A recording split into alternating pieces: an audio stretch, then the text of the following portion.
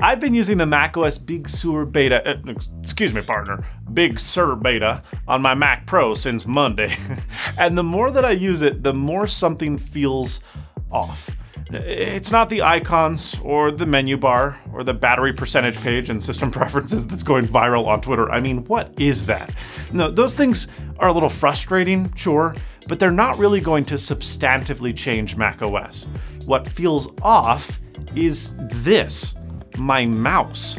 And it's why I'm declaring with confidence that touchscreen Macs are coming soon. And I've got the evidence to back it up. Now, wait a minute, I know you're typing down in the comment section. Did you happen to forget the WW 2018 keynote when Craig Federighi said this? And the fact that the Mac and iOS share so much technology has led people almost every year to keep asking us the question, are you merging iOS and macOS? So I'd like to take a moment to briefly address this question. No. of course not. Ah, shoot, I forgot he said that. Uh, I guess we'll just end this video. No, I didn't forget he said that, but things have changed since 2018. Let's listen to the second half of his statement. We love the Mac because it's, and we love Mac OS because it's explicitly created to, to the unique characteristics of Mac hardware, like the ergonomics of the keyboard and the trackpad. Uh, yeah, that's a good point.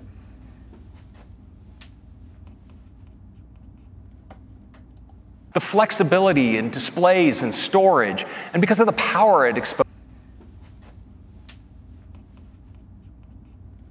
First off, we need to get a small little snag in my theory out of the way. Uh, the fact that Apple said touchscreen Macs were never going to happen. Now, look, most people will take this back to 2010 when Steve Jobs said the following Touch surfaces don't want to be vertical. It gives great demo. But after a short period of time, you start to fatigue, and after an extended period of time, your arm wants to fall off. It doesn't work. It's ergonomically terrible. Many will dismiss this comment and say, look at all of the Windows touchscreen laptops on the market that clearly have demand.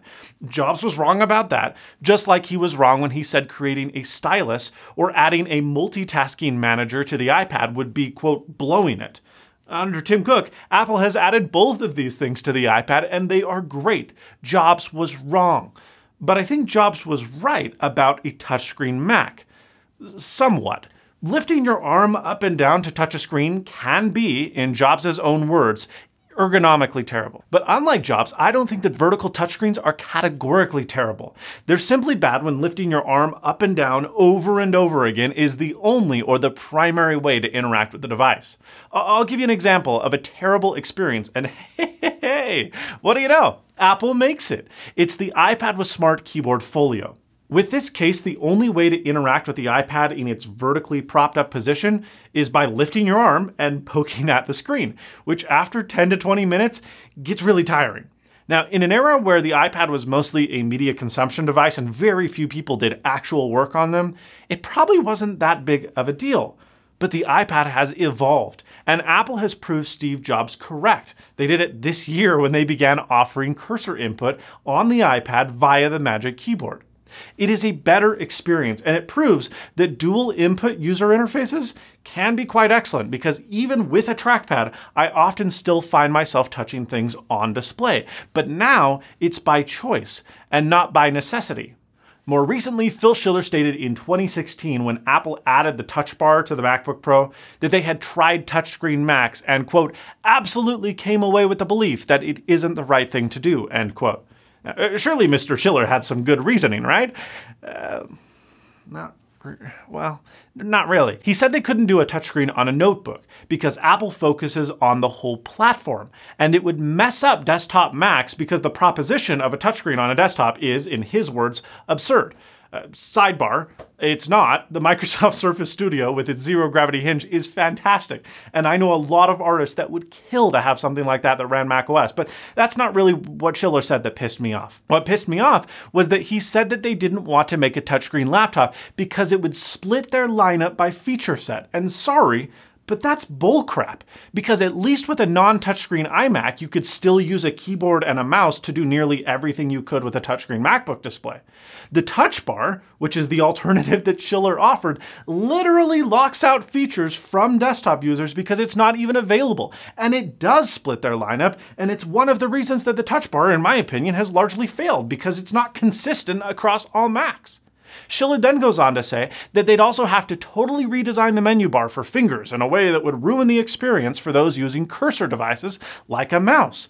He said that you can't optimize for both, that it's the lowest common denominator thinking. And I used to believe this was true. With macOS Catalina, Apple announced Catalyst, a tool that would allow developers to write apps that could run on both the iPad and the Mac. And in principle, this was a good idea. If you make apps easier to port, more apps will be ported. The problem? Well, these were all touch-only apps that needed to be optimized for a non-touch interface. Now, some apps like PDF Viewer did a really excellent job, and you would have no idea that this was a Catalyst app. It looks and feels just like a Mac app. Other apps like Twitter did an okay job, where it mostly feels like a WebView app rather than a Mac app, but it doesn't feel bad per se. That said, several iOS elements make their way through, like switches, which Apple's human interface guidelines explicitly say should not be used on a Mac Catalyst app when checkboxes could be. And then we have apps like HabitMinder, which, sorry, is just terrible. And that's what I feel a lot of Catalyst apps are like. They just look like an iPad app that got thrown onto the Mac without any modification. Buttons are spaced way too far apart for cursor users. Using elements like date pickers are a joke with a mouse and a keyboard, and more. These apps, in Schiller's words, use lowest common denominator thinking. But even though many apps felt like an awkward iPad app that just got slapped onto a Mac, users expressed that it was better than no app at all and that's pretty sad. Then we've got Big Sur. There are a large number of odd modifications made to the fundamental design principles of macOS 11 that hint at a very touchable future. Most obviously, and perhaps my least good argument, is the fact that all of the default app icons have moved to an iOS-like square, about the same size as a fingertip, and they've ditched their uniquely designed size and shape. Now, maybe this is just for consistency across iOS and macOS, but then wouldn't they make them look the same? Launchpad, which is a feature that never really made sense in my opinion on non-touchscreen Macs anyways, has recently gotten a new icon and renewed attention. The all-new Control Center is basically a direct copy from iOS, and, and certain elements, like the sliders, feel super weird with a cursor. They work like you'd expect, but they're too long, and thus require an odd amount of mouse travel. The distance and padding between icons is frankly a bit bothersome for a precise input device like a mouse or a trackpad. It seems like a regression. Items that were previously closely packed together are now not, like audio output devices and Wi-Fi networks many of which are buried in submenus so as to provide a larger button to press not ideal when you're using a mouse. The, the, menu bar itself is slightly larger than it used to be, with more space in between each individual menu item. But even crazier, there is a hidden accessibility setting to make the menu bar a little bit larger, which was one of Schiller's primary arguments for not being able to add touchscreen support to the Mac. At least on my display, uh, I mean, it leaves more than enough room for a finger. Safari has been redesigned with a bigger tab row and an even bigger address bar row. Yet another odd option when desktop class UI elements can be, and have historically always been smaller, to make room for more content. But the biggest argument for touchscreen Mac is hidden behind a very quick statement that Apple nonchalantly made during the keynote on Monday. As you saw, Macs built with Apple Silicon will be able to run iPhone and iPad apps directly Starting day one, users can download these apps right from the Mac App Store, and most apps will just work with no changes from the developer. The implications of this are huge, but it goes even a step further than that because during the State of the Union address after the keynote, Apple announced that all iOS apps, both iPhone and iPad, would be available for Apple Silicon Macs in the Mac App Store by default, and that developers, if they didn't want their apps available for our Macs, would have to actively opt out. Now, on the offset, This might sound like a good idea. If your desktop and your laptop and your mobile operating devices all run the same instruction set and codebase, well, why wouldn't you allow for cross compatibility to bolster these newfangled ARM Macs with the largest software catalog possible? But here's the thing I don't peg Apple as a company that would fill their app store with a bunch of broken, crappy apps that would significantly diminish the experience for these new ARM Mac users. And without a touchscreen, well, that's what it will be for a lot of apps crappy. Most games, which remember, will be made available by default on day one, require multi-touch, and the last time I checked, well, a mouse cursor could really only replicate one finger. Uh, technically, the iOS simulator does allow you to perform multi-touch actions by using the mouse cursor and a combination of hotkeys, but come on, you really think that that's what Apple's gonna do for consumers? This is Apple, a company that is obsessed with image and visual polish to a fault. And that's why I was a bit confused by the announcement at all. Because think about it. Without a touchscreen, the experience of using iPad and iPhone apps on a Mac will be pretty terrible. Even worse than the really, really bad Catalyst apps that Apple has been fervently trying to prove can be good. Look no further than the fantastic new Messages and Maps app in macOS Big Sur that are both built on Catalyst. But even with a touchscreen, the experience of using multi-touch apps is not going to be as good as the device that they were natively intended for. Then again, a lot of apps on the iPad seem a bit ill-suited for a cursor, and the experience is often less than stellar. But many people, including myself and apparently Apple, because they made the thing, believe that less than perfect cursor implementation is better than no cursor implementation at all.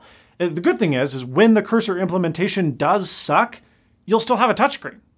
In my dream world, Apple would offer a MacBook like the Microsoft Surface laptop, a crazy powerful computer that runs a desktop class operating system, but also one that can detach into its own tablet form factor and run iPad OS.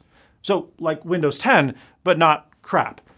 I don't think that's ever going to happen though, because Apple historically has always wanted to sell its users more hardware, not less. And it would also go against them explicitly stating that the two operating systems were not converging. Then again, it's not like Apple hasn't ever lied to us before.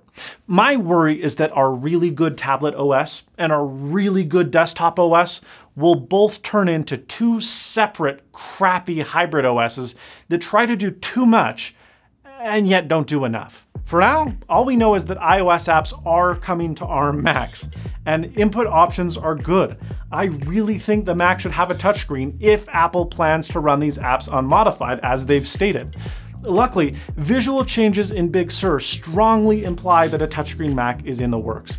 And as dumb as slapping a touchscreen on a laptop or a desktop computer is, it's something that people, including myself, have been wanting Apple to do for years.